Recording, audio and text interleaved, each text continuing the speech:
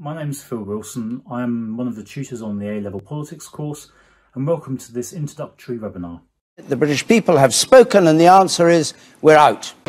British politics has in the last decade seen four general elections, three prime ministers, a coalition, majority and minority governments, three referendums, war and terrorism, and the country bitterly divided over the questions of Brexit, and the Scottish independence. In just the last few months, we've seen a global pandemic, the implications of which on our society and our politics are yet to be felt. What will the next 10 years bring us? How, or rather can, our politics and institutions respond? We'll consider the development of universal suffrage from the days of Peterloo and the Chartists through to the suffragettes. We'll also gain an understanding of the Westminster model, the British Constitution, look at how the British Parliament works, the role of the executive, as well as more recent developments including the Supreme Court and the process of devolution, looking at voting systems used in the UK and elsewhere in the world. We'll also look at class and other social factors which help determine voting behaviours and apathy. What do we want? Climate justice! When do we want it? Now! We'll look to how people may engage in politics, the use of referendums, including recent examples to consider the advantages and disadvantages associated with their use, and the role of pressure and protest groups that seek to influence public opinion and policy as part of a pluralist democracy.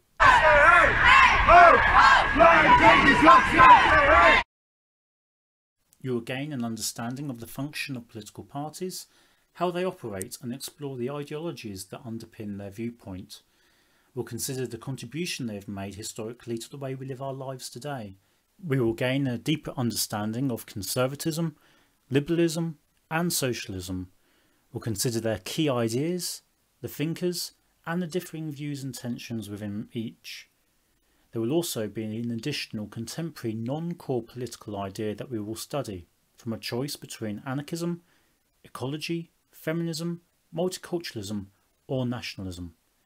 As well as the established political parties, we'll also consider the growth of minor and emerging parties such as the Scottish National Party, Green Party and others. Where there is discord, may we bring harmony. Where there is error, may we bring truth. Where there is doubt, may we bring faith.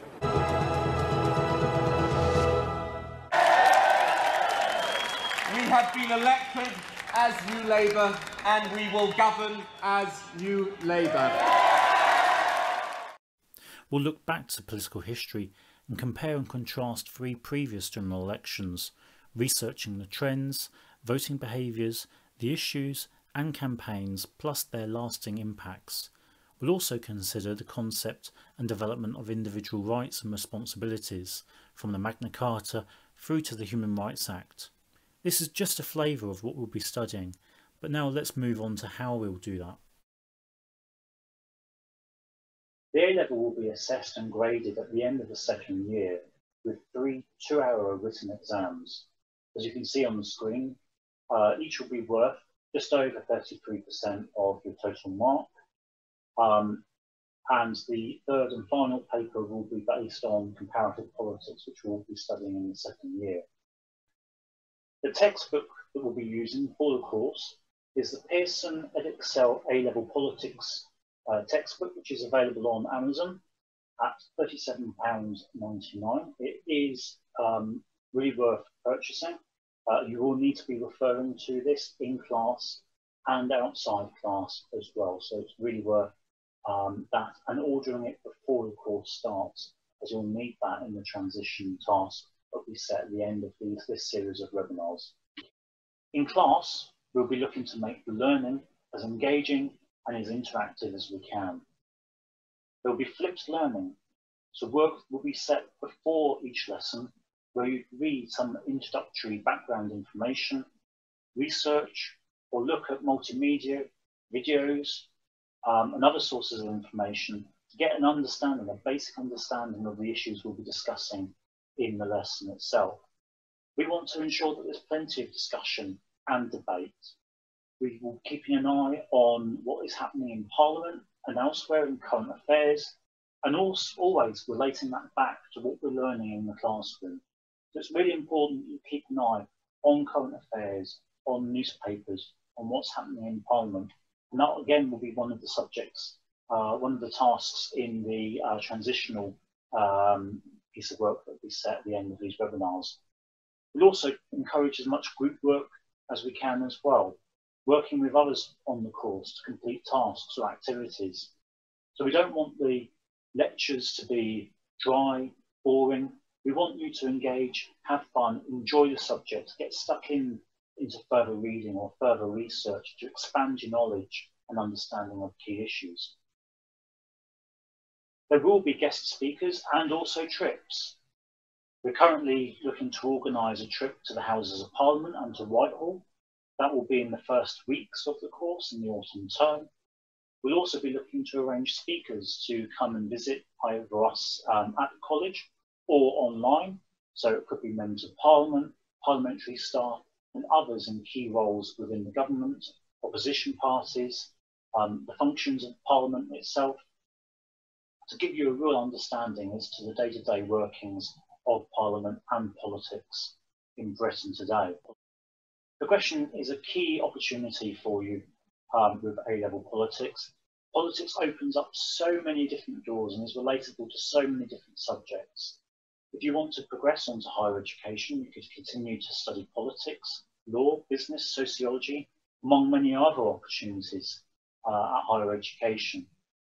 You could also go into a successful career, management, finance, government, industry, business. Many employers these days who operate across national boundaries look to people who have got an understanding of how the world works, how it is governed, and politics will put you in a really good step.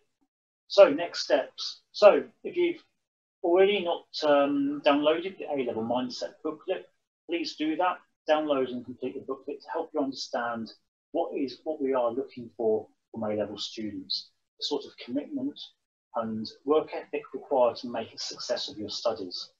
Get organised. Think about how you're going to organise your notes and how you're going to be studying at home. And follow the webinars. This there will be a series of webinars to introduce you to the subject and how A-levels work. And if you have any questions about the subject, about the course, please do contact me. My email address is on the screen there.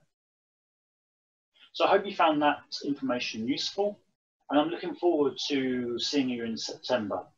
In the meantime, if you do have any questions or any queries, by all means, please rewind the video to get my contact email address and I'll be happy to answer any questions you might have.